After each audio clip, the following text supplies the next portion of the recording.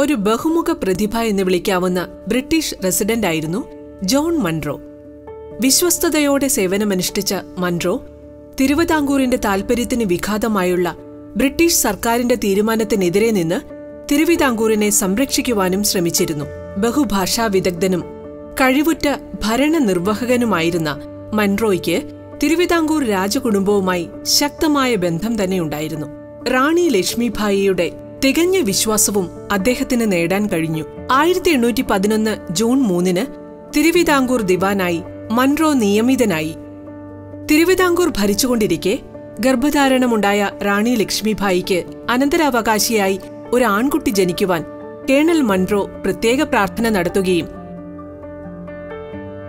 ഇത് സഫലമായതിനെ തുടർന്ന് ഒരു അലങ്കരിച്ച കുട പത്മനാഭസ്വാമി ക്ഷേത്രത്തിലേക്ക് വഴിപാടായി ഇദ്ദേഹം നൽകുകയുമുണ്ടായി.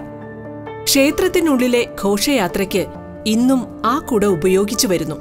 ഭരണനിർവഹണത്തിൽ അനുയോജ്യമായ മാറ്റങ്ങൾ മൺറോ വരുത്തുകയും നികുതി പിരിച്ച് ആധുനീകരിക്കുകയും നീതിന്യായ വകുപ്പ് ഓഡിറ്റ് ആൻഡ് കസ്റ്റംസ് തുടങ്ങിയവയിലൂടെ വരുമാന വർധനവിനുള്ള കാര്യങ്ങൾ നടപ്പിലാക്കി. വ്യക്തികളുടെ മേൽ ഏർപ്പെടുത്തിയ നികുതിയിൽ ഇളവ് വരുത്തിയ മൺറോ ചില സമുദായങ്ങൾ നൽകേണ്ടിയിരുന്ന പോൾ ടാക്സ് പോലുള്ളവ നിർത്തലാക്കുകയും കൃഷിക്കാർക്ക് പട്ടയം നൽകുകയും ചെയ്തു. കൂടാതെ ജില്ലാ കോടതി പാണ്ഡികശാലകൾ എന്നിവ സ്ഥാപിക്കുകയും ജനങ്ങളുടെ സുരക്ഷ മുൻനിർത്തി പോലീസുകാരുടെ എണ്ണം വർദ്ധിപ്പിക്കുകയുമുണ്ടായി.